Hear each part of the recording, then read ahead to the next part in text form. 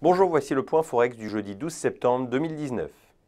Nous restons pour l'instant à l'écart de ce mouvement de rebond qui se fait dans un environnement de fortes attentes sur les banques centrales et sur les négociations entre États-Unis et la Chine. Une nouvelle vague d'aversion au risque sur les marchés actions n'est pas impossible dans les semaines qui viennent. Un retour sous la zone support 105 serait un signal baissier pour extension dans la zone 100-101. Retrouvez-nous dès 11h pour le Market Live et dès demain pour d'autres analyses.